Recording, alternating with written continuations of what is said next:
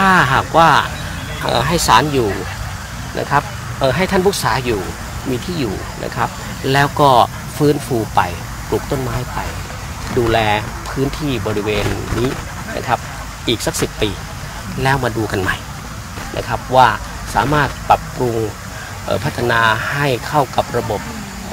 สิ่งแวดล้อมทั้งปวงที่อยู่ในบริเวณนี้ได้ไหมนะครับ อย่างนี้การแก้ไขปัญหา มันต้องไปในเชิงนี้ครับ การที่ท่านไปทุบทำลายเนี่ยนั่นเท่ากับท่านทำลายสิ่งแวดล้อมนะทำลายทรัพยากรของชาติอีก เงินตั้ง 600 ล้านเนี่ยนะครับหินปูนทรายเหล็กแล้วท่านทุบทิ้งเนี่ยนั่นท่านกับท่านทำลายสิ่งแวดล้อมไปโดยปริยายทำลายทรัพย์สินของชาติ เจ้าอย่างนั้นเหรอครับเออไม่ได้ใหญ่โตหรูหราอะไรเลยครับ ไม่ได้ใหญ่โตหรูหราอะไรเลยครับ ลองเทียบกับบ้านหูหน้าต่างจังหวัดนะครับ ก็ไม่ต่างกันนะนะครับเออไม่ต่างกันเออราคาหกห้าหกเจ็ดล้านเนี่ยราคาประมาณเท่าไหร่ครับผมไม่ทราบว่าราคาไม่ทราบอะไรอย่างนี้ผมแต่ตัวเลขที่แน่นอนนะ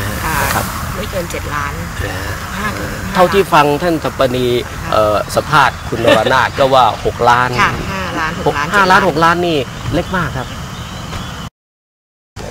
เรื่องบ้านพักนี่เรื่องเล็กน้อยมากครับ อย่าเอามาเป็นเหตุให้เสื่อมศรัทธาสารยุติธรรมเลยครับ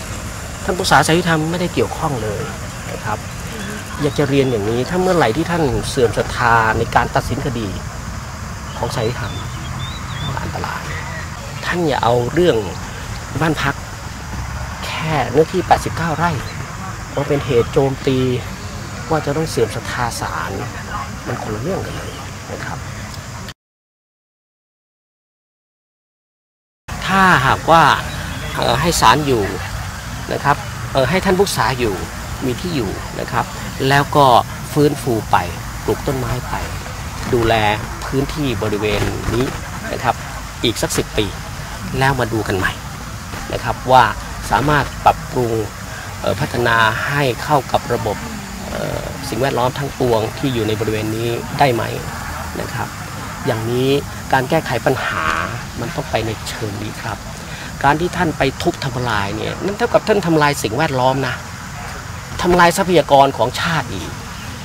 เงินตั้ง 600 ล้านเนี่ยนะครับ หินปูนทรายเหล็กแล้วท่านทุบทิ้งเนี่ยนั่นท่านกับท่านทำลายสิ่งแวดล้อมไปโดยปริยายทำลายทรัพย์สินของชาติ เจ้าอย่างนั้นเหรอครับเออไม่ได้ใหญ่โตหรูหราอะไรเลยครับ ไม่ได้ใหญ่โตหรูหราอะไรเลยครับ ลองเทียบกับบ้านหูหน้าต่างจังหวัดนะครับ ก็ไม่ต่างกันนะนะครับเออไม่ต่างกันเออราคาหกห้าหกเจ็ดล้านเนี่ยราคาประมาณเท่าไหร่ครับผมไม่ทราบว่าราคาไม่ทราบอะไรอย่างนี้ผมแต่ตัวเลขที่แน่นอนนะครับไม่เกินเจ็ดล้านเออห้าถึงเท่าที่ฟังท่านสัปนีเอ่อสัมภาษณ์คุณนรนาถก็ว่า6ล้านค่ะห้าล้านหหกกล้านห้าเจ็ดล้านหกล้านนี่เล็กมากครับนะครับ เรื่องบ้านพักนี่เรื่องเล็กน้อยมากครับ อย่าเอามาเป็นเหตุให้เสื่อมศรัทธา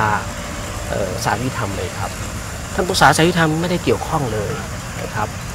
อยากจะเรียนอย่างนี้ถ้าเมื่อไหร่ที่ท่านเสื่อมศรัทธาในการตัดสินคดีของสาริธรรมอันตราย ท่านอย่าเอาเรื่องบ้านพักแค่เนื้อที่ 89 ไร่มาเป็นเหตุโจมตีว่าจะต้องเสื่อมศรัทธาศาลมันคนละเรื่องกันเลยนะครับ